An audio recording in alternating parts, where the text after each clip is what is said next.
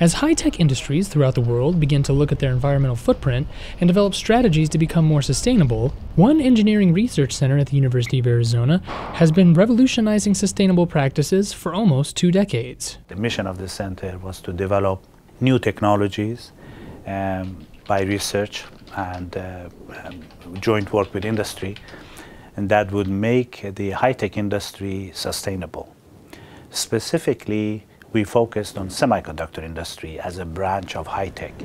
There were a number of issues that came up as the environmental bottlenecks for sustainability. One of the issues was availability of water.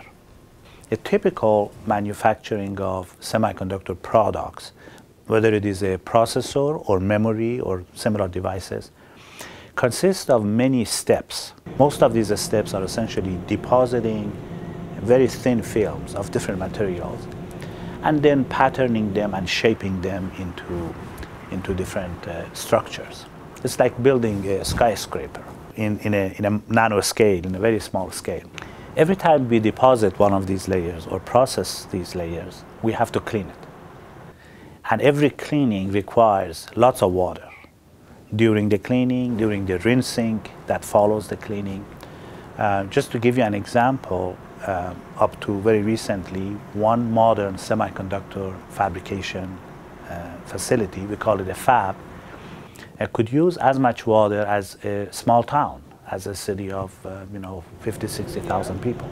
One of the things that we noticed is that one reason for usage of so much water is that during the processing of a wafer, when we are making the chips, we really are not monitoring. We don't know exactly when the substrate, when the material that is being cleaned is clean enough.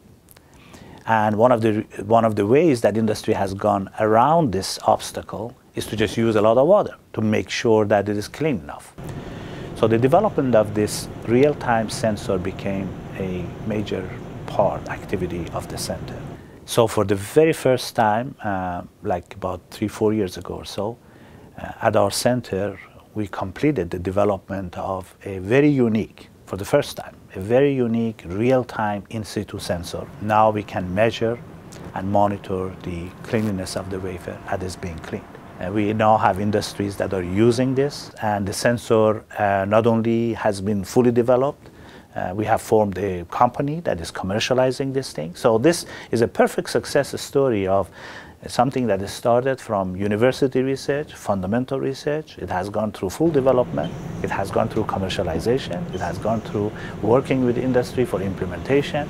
So the whole cycle of uh, from fundamental research to the actual usage is, is, is completed.